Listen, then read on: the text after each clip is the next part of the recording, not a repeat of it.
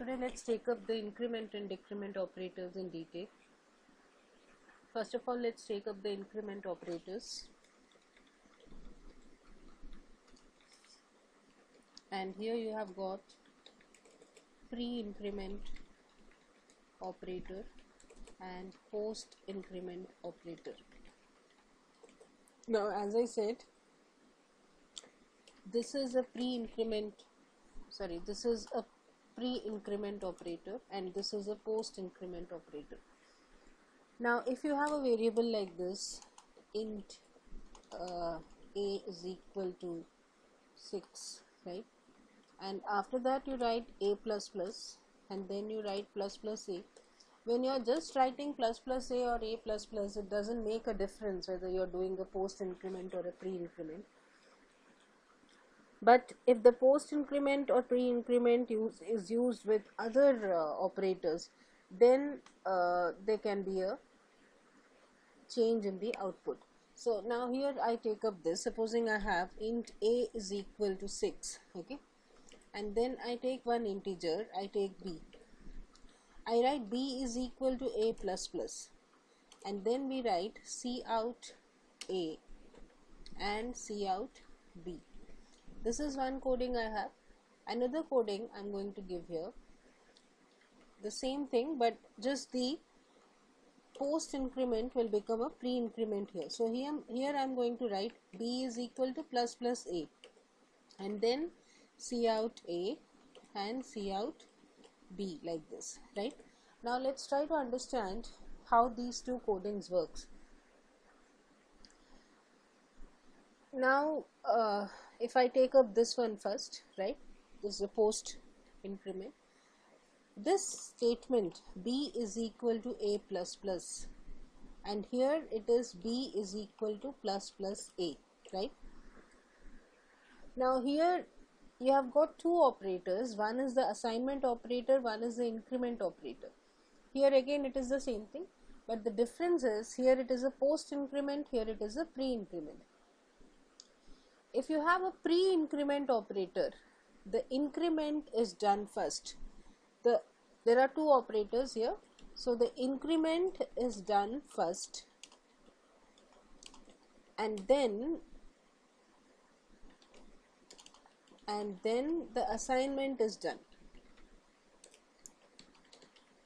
In this case assignment is done first assignment is done first and then the value is incremented. Now let's see here.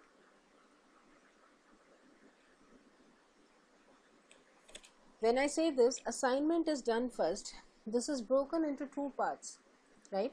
One is the assignment and one is the incrementing. So assignment is done first so this part b is equal to a right? And the next part is a plus plus like this it is done fine? So when you say b is equal to a what is b? B now? B becomes equal to 6 and when you do a plus plus a becomes equal to 7 so when i print these two values c out a and b these two here a will give 7 whereas b will give only 6 because the value has been assigned before doing the incrementing. Now see here. The increment is done first. So here this plus plus a comes first and then you do b is equal to a. Fine. So what happens? A when you do plus plus a a's value is 6 again this is the coding now a's value is 6 so plus plus a means a becomes equal to what? 7 right? So here a will become equal to 7 and then this b is equal to a means b also becomes equal to 7 right? So here when we print a and b both a and b are going to give the value 7 right? So this is the basic concept basic difference between a pre-increment and a post-increment meaning wherever you have a pre-increment that is the first thing to be done. Whereas if you have a post increment that will be done only after the assignment operator or any other operator you have that will be done in the last right? Now same way you have the pre decrement and the post decrement.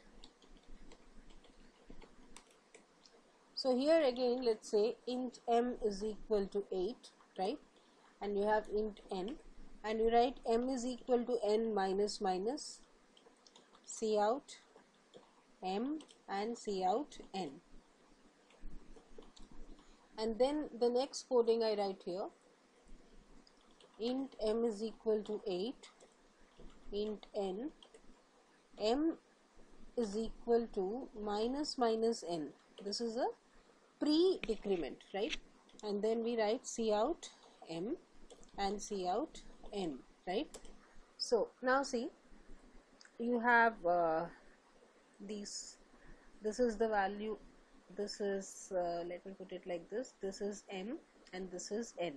Initially M has the value 8 right now I'm taking up this coding first the coding of post decrement so here when you say m is equal to n minus minus so this is a post decrement so decrement will be done as the second uh, step. First of all the first step is the initial uh, sorry assignment right?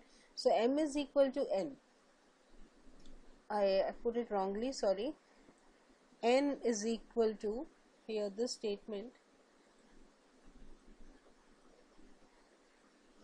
This should be n is equal to m minus minus and here it should be n is equal to minus minus m right?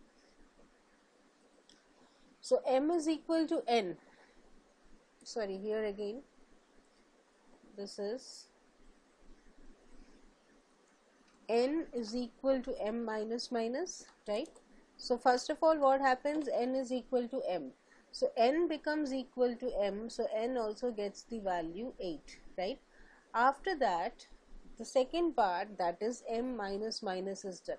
So when m minus minus is done, this m becomes equal to 7. So when you print the values of m and n here, m will be 7 and n will be 8. Sorry, n will be 8 here. Fine. Now the same thing when we do it using uh, pre-decrement okay? This is again m and n. The initial value is 8 right? Here you have n is equal to minus minus m. This is a pre-decrement so here minus minus m is done first. So m becomes equal to 7 right so this 8 this becomes equal to what this becomes equal to 7 after that we have this n is equal to m. So when you do n is equal to m now, n becomes equal to 7. What is the value in m? m is 7. So in this case, if you print m and n, both of them will print 7.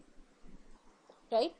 So this is one of the most important things that you have to understand as far as the post and pre-decrement operators are concerned and what is the actual difference between these and how they work right? In my next session i'll again take up pre-decrement uh, post-decrement and increment operators and we will try to evaluate some expressions based on this so with that i'll come to the end of this session. Bye